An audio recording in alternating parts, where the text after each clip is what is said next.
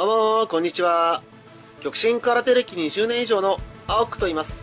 本日もそこから得られた知識や経験を皆様にお話ししていきたいと考えております。酒井貞夫言わずもがな。身長わずかに157センチ。体重60キロというそれにもかかわらず小翼大王セスその武道の一つの到達点を体現した数少ない武道家の一人です。身長体重の差がもろに結果に反映されてしまう。直接打撃性の顔面攻撃は蹴りのみというルールの中。しかし彼は自らが鍛え上げたその拳と蹴り。それによってダメージを与えることによる。まさに切るか切られるかという極限の勝負を展開していました。彼の戦いの記録はそれほど多くはなくそのほとんどが記録にも記憶にも残る鮮烈なものですがその中でも特筆すべき一つとして今回挙げさせていただきたいのが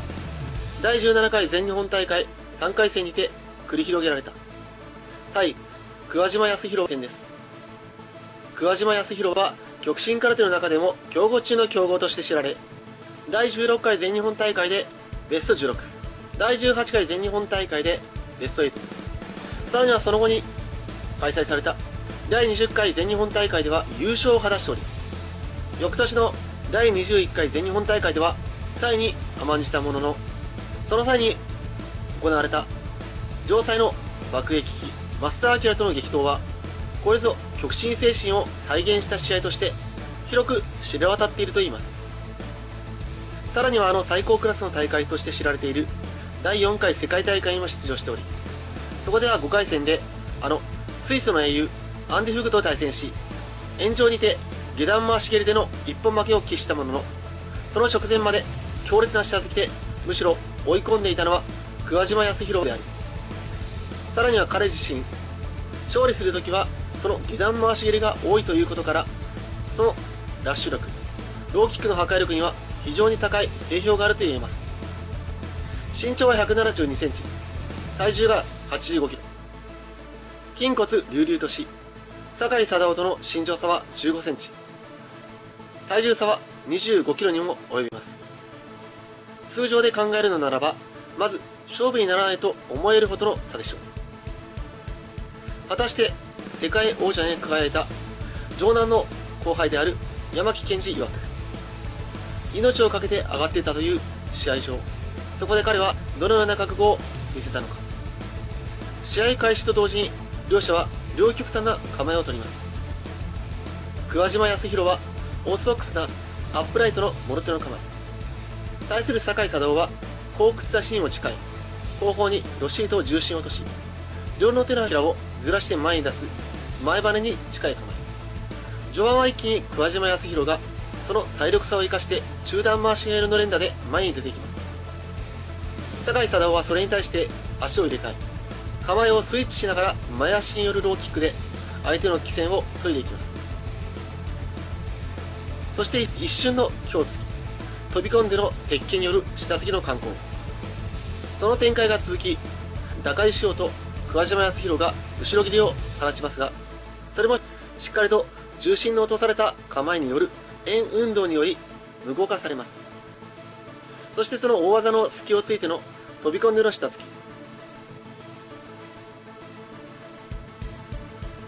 徐々に桑島康弘の動きが鈍くなっていきます。大技を放てばカウンターの下突きでダメージを受けて小技で散らそうとしても下段回し蹴りで起戦を制せられる。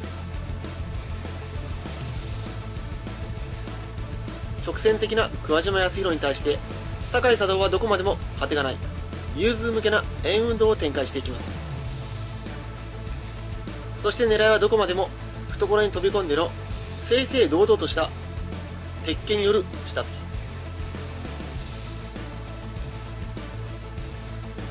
桑島康弘も一気に畳みかけようとせず相手が最大脅威であることを認めまるで全日本の決勝のような様相を見ていきます。そんな中すね浮きによるバランスを崩さざるを得ない下段回し蹴りに勝機を見出しその隙のなさに使い勝手の良さも見出し桑島康弘はそれで畳みかけていきます。そこから戦いは下段回し蹴り対下突きのせめぎ合いに絞られていきます。相手の攻撃をくるくるとかわしながらかわす動きがそのまま振りかぶりとためとねじれになりそこから渾身の下付けへとつなげていく。くしくも山崎輝友が提唱していた受け剣。そのさばきその理念にそれはまさにかなったものでした。桑島康弘の下段は炸裂せずに酒井佐渡の鉄拳は全てその急所を見事に捉えています。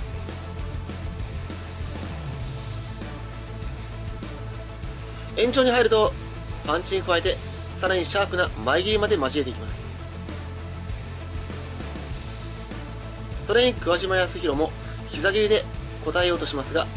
やはり円の動きでそれは華麗にさばかれます。しかしさすがは桑島康弘も後の全日本チャンピオン。徐々にその感激をつき下段回し切りを当ててパンチを少しずつ当ててその体勢を盛り返そうとします。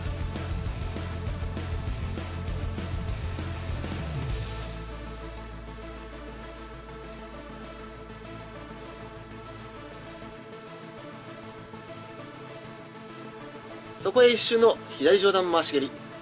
相手があっけに取られたところに左右の政権好きの5連打しかし桑島康弘も膝蹴り前蹴りローキックの反撃。再延長。今度は一転してお互いローキックの蹴り合いとなります。しかしさすがにそれは桑島康弘に分があるようで2度酒井貞夫は場外に叩き出されます。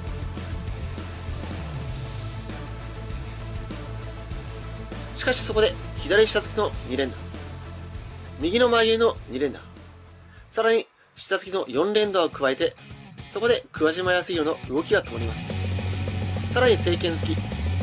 前蹴りのカウンターを加えて2発目の前蹴りのカウンターで桑島康弘がよろめいた。木だ再延長終了。判定となり旗は2本酒井佐藤に上がり。そして主審も含めて3本の旗を持って酒井佐藤は身長1 7センチ。体重2 5キロの差を跳ね返しての勝利をつかみました。上段の一発ではなく本戦ではなく勢いではなく再延長にて着実にダメージを積み重ねたことによって勝利をつかんだというまさに武道的な優勢勝ち。本人たちでしか分かりえないかもしれない駆け引き狙い技の選択そういったものが無数に張り巡らされたまさに将棋のような一手一手の打ち合いそして何よりそれだけの慎重さがありながらしのぐのではなく自ら危険なところに飛び込み堂々とした空手の空手家の命ともいえるその政権の突きで鉄拳を持って相手を制したまさしく小欲大を制した堂々たる戦いと言えるでしょう。私はこれからも極真心に残る武道的なまさに空手ここにありといった素晴らしい名勝負を皆様に紹介していきたいと思います。ですのでぜひチャンネル登録の方よろしくお願いいたします。本日もご視聴いただき誠にありがとうございます。